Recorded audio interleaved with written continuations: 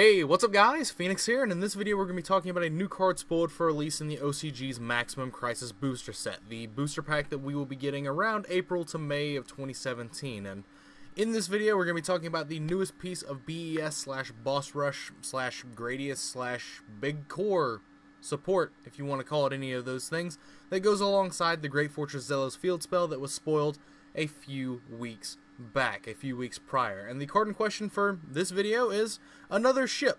I don't know why we're getting more BES ships. I didn't really think we needed them, but if Konami's going to keep designing them the way this one is, then absolutely, yes please, give us more of these, because this one is really good in my eyes. But the card in question for this video is BES Big Core Mark III. Did it really take them three iterations of Big Core named ships to finally get one that worked and that was good? I think that's a bit strange and kind of inexcusable considering Big Core was the flagship of this entire theme, don't you think?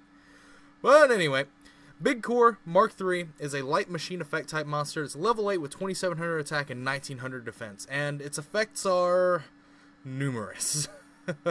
its first effect is if your opponent controls a monster and you control no monsters, you can special summon this card from your hand in defense position.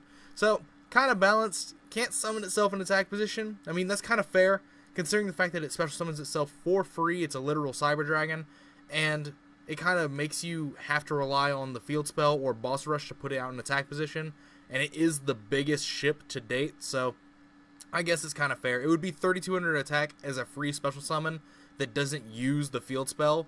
If Great Fortress Zelos is up, it wouldn't waste Zelos' special summon effect for the turn. So I guess that's fair. And it can't die in battle anyway, so I guess putting it in defense is is a fair trade-off. But anyway, if this card is normal or special summon, place three counters on it. That's very good. That's a very good little bit of synergy. It gets counters whether it's normal or special summon. So this card will always have counters on it, whether it's summoned off Boss Rush, Great Fortress Zelos, or its own effect. If you have to normal summon this card, it will also have counters. That is something that none of the ships prior have ever had. They've always either gained counters on normal summon or on special summon. And they've never gained counters off of both. The only thing that has changed that as of recently is the addition of Great Fortress Zelos into the uh, theme's repertoire of things to play with. But continuing on, cannot be destroyed by battle at the end of the damage step. If this card battled, remove one counter from this card if you cannot destroy it. I mean, the same the same old standard BES effect of this card can't die in battle. It uses its counters as shields, like the game design of Gradius, of the Gradius side scrollers and if it does not have one of the counters or shields, the card destroys itself at the end of the damage step. Same old theme, constant effect for the theme. So, not anything that should be surprised there. Surprising, rather. But, its last effect is you can banish this card from your graveyard, shuffle all BES monsters and Big Core from your graveyard into the deck. Now, that one's a good one. This is something that we've never had for this theme before in the past, and it's something that's actually very rare for a theme to have, is built-in self-recursion that is very good and very easily accessible. This card requires you to do nothing outlandish other than summon it and have it die, which is the entire game plan of how the Boss Rush deck operates. You use Boss Rush to maintain a string of boss monsters, almost as if it was a wave of bosses in a side-scrolling video game. Huh. Weird, right? It's almost like it's based on one of those. but the biggest problem that we've had with the Boss Rush deck in the past is the fact that you run out of monsters. Cards like Pot of Avarice and Jar of Avarice have alleviated this in the past, but Pot of Avarice is banned and Jar of Avarice is a trap, therefore kind of slow. This card is a searchable, accessible piece of the deck's engine that is also just happens to be the biggest ship which is very important because it essentially replaces Covered Core, because Covered Core was the only real big ship that could reach the 3000 attack point margin with the addition of Great Fortress Zelos on the board, but this card goes beyond that to 300 to 3200 attack, meaning that Covered Core has essentially been invalidated, and this card gives you recursion. It lets you put your monsters back, meaning that you have a searchable form of card in your engine that allows you to reset your resource pool of BES monsters in your deck to summon off of Boss Rush or Great Fortress Zelos up to three times per game. It banishes itself, and that sucks, but there had to be some sort of cost. It couldn't just be infinite. There's no reason for this card to have been infinite in any way, shape, or form. It's already good enough as it is. I think this card is fantastic. It is the first ship that we have gotten in five waves of support for the Boss Rush deck that has been a card that completely synergizes with the rest of the theme. Let's think about that for a second. It has taken five support waves and three iterations of big core named ships for Konami to finally make something that was good and synergized completely with the entire boss rush theme. Let's let's let's recount this. We had Big Core, the original, the flagship, the first support wave for this entire thing coming out in Rise of Destiny. At that point, it was more of just a shout out to their Gradius themed games and not really a deck theme concept. But then they built off of this in Cybernetic Revolution when they released Crystal Core, Elemental Energy when they released Tetran, uh, Covered Core, and Boss Rush. So that's when we finally got Boss Rush. Three support waves in.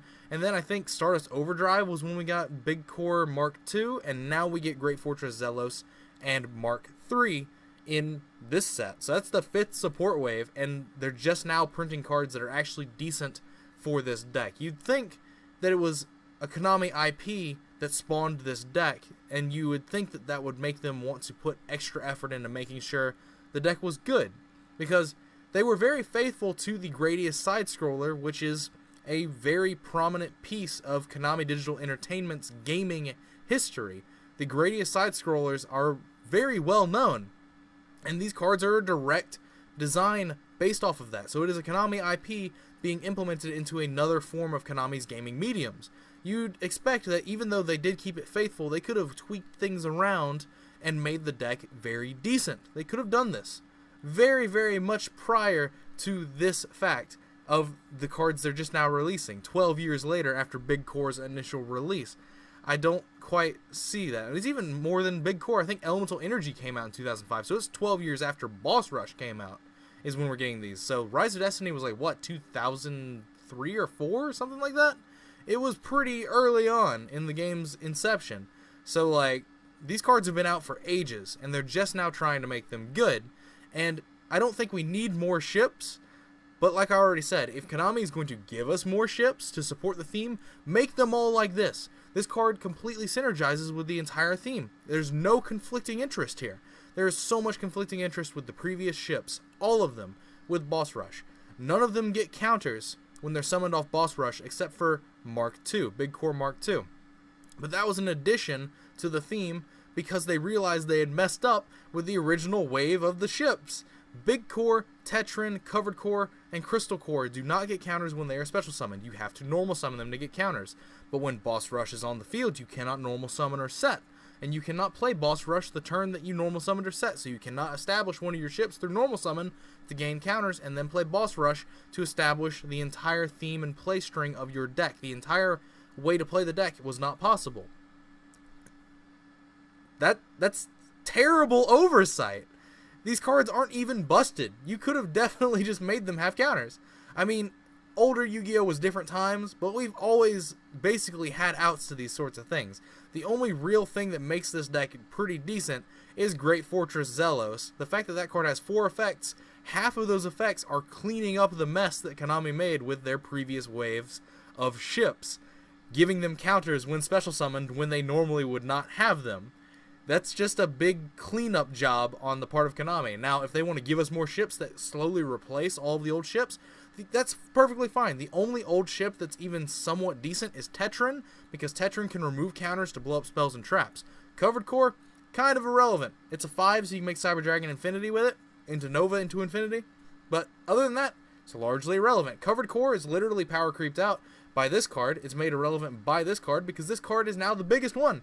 Covered Core was only played because it was the biggest one. Now this card's the biggest one. And it's also just better. You don't have to waste your field spell special on it. You don't have to waste a normal summon on it. It doesn't tie up your normal summon. It doesn't tie you away from boss rush. It gets counters regardless of how it was summoned. It recurs all of your resource pools. The only thing that could have made this card better is if it also shuffled boss rush back into the deck. That's the only way this card could have been really better and not completely change the way it was designed. This card synergizes perfectly with the entirety of the theme, and it's definitely something I want to see more of if Konami decides to give us more BES ships. But Jesus Christ, it took them five support waves and three iterations of big cores to finally get a card that worked well for the theme, that worked completely as intended for a play string and a play style of a deck that needs cards that don't conflict with each other. Literally, the entire deck conflicts with itself until Great Fortress Zelos.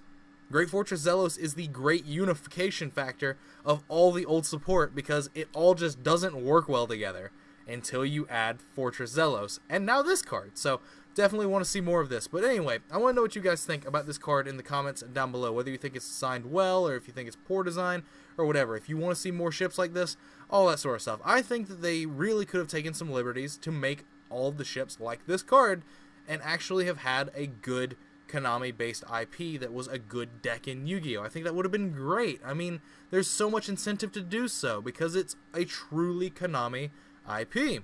But I digress. But anyway, guys, as always, like the video to show your support and help the channel grow. Subscribe if you already haven't, and if you want to see other videos you might also like, definitely go check out my channel itself. It's got a thousand plus uploads on it, so if you can't find something else you also like, I'd be incredibly surprised. But other than that, if you want to support me directly, you can now back me on Patreon. I'll have a link to it somewhere up here or here, or wherever I decide to put it in the video, and it will link you directly to my Patreon page, as well as there's a link in the description. And even by pledging as little as $1 a month, you are investing in my ability to continue to make content, as well as to allocate funds, resources, and time to making better and more varied content that is improved in the future. It's just a great way to show support, and if you have the ability to and the want to, then you have my eternal gratitude. But other than that, that's basically it for this video. Let me know what you guys thought, like I already said, in the comments down below, and thank you, as always, for watching. Thanks for your time, and as usual, guys, take care. I will see you in the next video.